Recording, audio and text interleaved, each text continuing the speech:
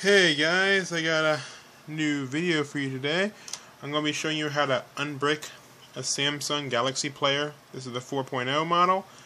Um, mine's actually not bricked right now, but I'm going to brick it for you because it's 1 o'clock in the morning and I'm not thinking clearly.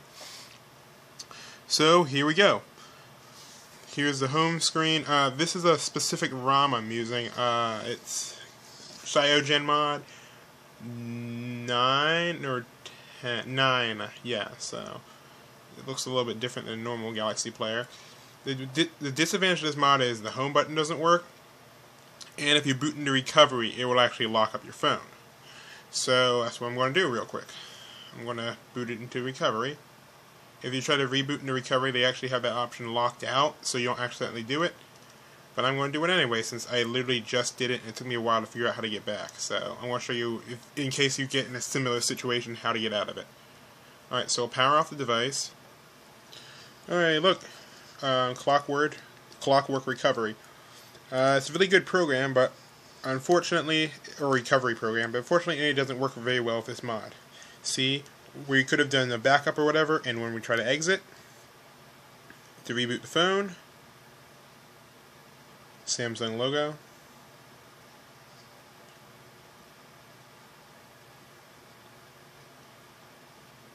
And we're back where we started. You can try wiping cache, you can try a Dalvik cache, you could probably even wipe data, and it wouldn't actually work. So now we're gonna move over, so now we're gonna plug it into my computer with this cable. plug it in, my camera won't actually reach very well and I can actually access ADB still. So I could try to do something that way, but let's actually brick it. Because right now we're unable to boot. If we go into download mode, and plug it back in, there we go, now we're in download mode. Now if you were to say try to flash something right now, with it not being able to boot up, this boot image right here, hey, it actually worked that time. Last time it didn't actually boot up.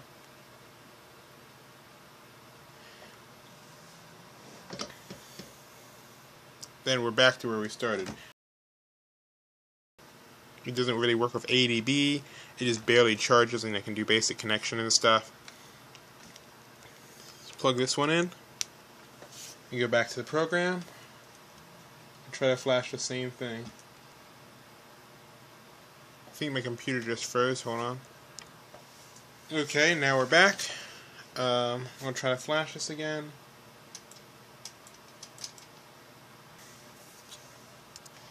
Okay, now here's the example. Um, if you like plug in a cable and it doesn't read it right or something like that, you may get a something like this that says uh, kernel upload failed, and then when we try to turn this thing off,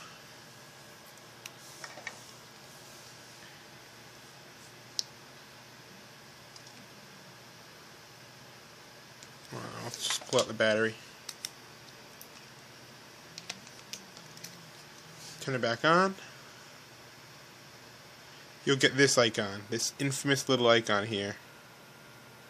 Um, has a picture of the phone. I'm see if, I'll see if I can get it in the focus. Uh, yeah. Basically, with this, no matter what you do, you can't access recovery, you can't access anything. So you start it back up, it goes straight to there.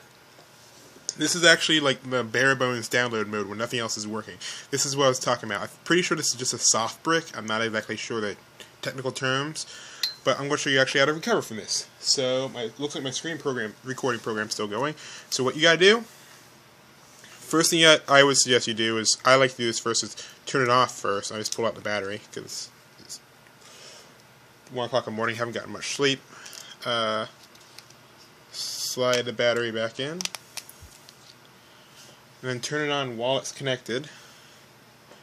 And then over here, you will need a few things. The first thing you're going to need, the first thing we're going to try, is just uh, reinstalling the kernel. Because if you had a kernel problem, that would be the only thing that's going on. Alright, now I got my computer up, back up and running. Here is the screen we had, and now we're going to attempt to fix that. I have a new copy of Heimdall open, so I can show you from the beginning. I really apologize to the guy if I'm pronouncing this wrong, but anyway, so here we go. It's plugged in using the official Samsung cable just to make sure nothing goes wrong. Now the first thing you'll need is you'll need a partition file or a PIT file. That you'll have to find all if you have a different model of phone, but I'm using the Samsung Galaxy, not Samsung, yeah, Samsung Galaxy Player USA version. So I and I already downloaded the file. I'll have a link to that and a link to the um, international version too. Let's go recently used. Here we go. And there we go. Now that we have that partition thing added, it will know where everything's supposed to be stored. The first thing we're going to do is, um, if you if you're working with the kernel, in other words, you're trying to install like a recovery or something, you can try just rewriting the kernel. If that works, then you're good, and you'll get keep all your programs and stuff, and you won't have to delete anything. So we're not going to choose any of these options. We click Add, and Kernel, Browse, and now we will try to find the kernel file. Which one is it? Um, yes, I used silent, where is it? TerraSilent Alright. And now I have TerraSilent loaded up here, as you can see. And it says kernel, and now we'll go back to the phone. And the phone still is in its primal download mode. So we'll go ahead and get this started. And go.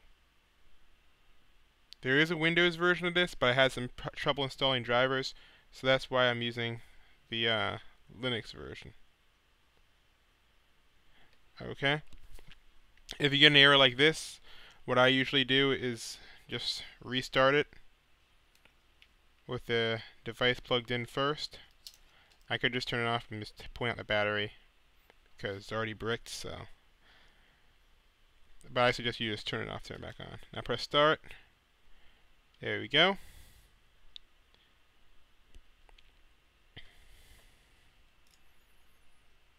Now we actually got a logo, so that's a good start. And it shows the kernel. So remember, the kernel is a little bit different. Um, because I'm using a custom kernel. You could use the official kernel. Um, again, this is if you just had a kernel problem. If you just want to restore the uh, the original Galaxy stock firmware, I will show you that too. But I'm just showing you if you're working custom because most of bleh, sorry. Chances are, if you run into a problem like this, that means you were trying to run something custom. So I might you might as well try the custom thing if you went through all this trouble already.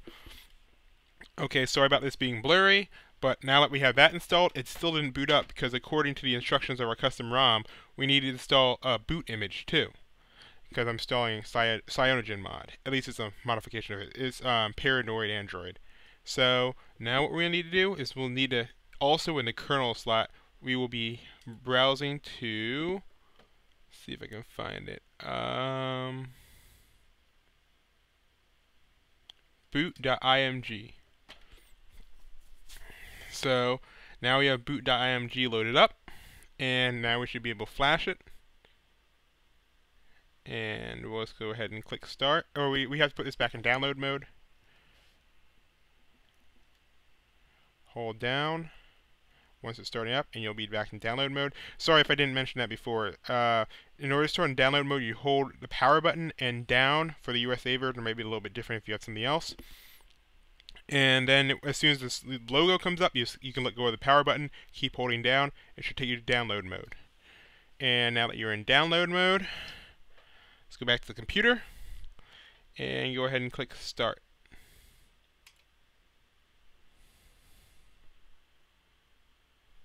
And we got that thing again. So, just leave it, the cable plugged in. Like I said, I have better luck when a cable's plugged in the whole time.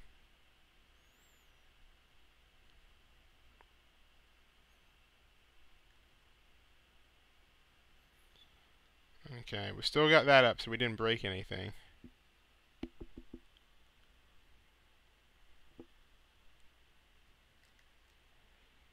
We still need to install that boot image, so...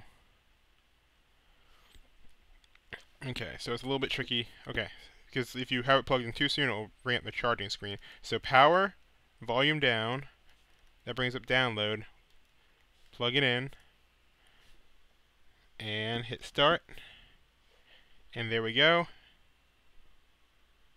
Flash completed successfully. For some reason, my camera does not want to focus on this.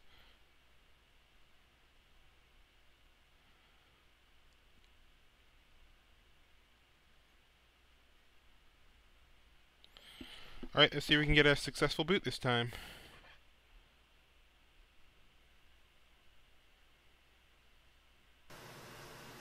Yep. There we go. Now we're back to where we were before. Um, again, that might that first method might not work for everyone, but it's the same setup if you want to do a, a full flash or if you want to flash back to the original firmware. So now this is actually working, you can see that it's working again. I can actually boot up and run my apps. It's taking a little while to load everything, but yeah, it's actually fully working again. I unsoft bricked it using thanks to this awesome program. So now what we're going to do is I'm going to show you how to load up if you load up the um, what is it called? Sorry, load up the uh, flashing program if you want to do a complete flash back to the original firmware. And now we'll just be a computer only. Okay, so you'll need the full uh, part. We'll need all the partitions in order to reflash back to the original firmware if you're on the screen that you saw me at before. So basically, when you're at the flashing screen, what you'll need is we'll remove this. First thing you'll need to do is is the partitions file. You should already have that selected. Um, now you click Add, and we'll start with Factory FS. Now you click Browse I'm going to go to where I have the file stored. Can't let you guys see my files.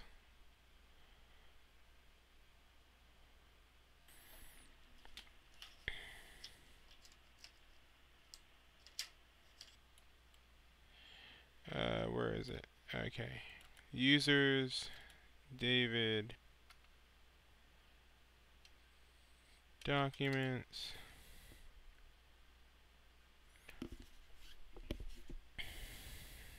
Okay. Okay, here it is. The folder is called YG1 US Restore. So the first thing we selected was Factory FS. So we click the Factory FS thing, and it should get ready to load it up. Okay, and you do the same with the rest of them. You have to you click on what you want. Okay, so you do that for the rest of them. You have param, kernel, cache, and um, database files. I'll have it come up on the screen what they what you need to select for each of them. And once you have them all selected, all you have to do is just click Start. You can make your own package if you want, so you don't have to do that again. Basically, once you have them all set here in your package, like you have cache, let's say you want to do, um, see, where is it? kernel. Once you have all the files loaded up, you can flash it. And after you're done flashing, if you want, you can uh, create a it into create a package for it. And when you create the package by clicking on this once it's full, but mine's not. Um, kernel is zImage. Yeah, you can actually click over here to create a package. You can say stock and fill in all this other information and by that you'll be able to have a package that you can just load up here next time you want to restore and restore it easily. I'm going to try to upload my package, but I haven't tested it yet, so I mean if your device is already bricked it won't really matter, but you can just use this package if you want. I'll have, and it will have all the this stuff chosen for you already. But if you want to do it manually, here's how you do it. Basically, just click that for each of the ones. Just click Add when you want to add another section. And when you have them all, just click Start, and it should uh, load it up and flash it to your device and you should be back on the original stock firmware. So thanks for watching. I'm still working on the how to make a media server video, but uh, I hope you enjoy this video in the meantime. Uh, see you all later. Bye.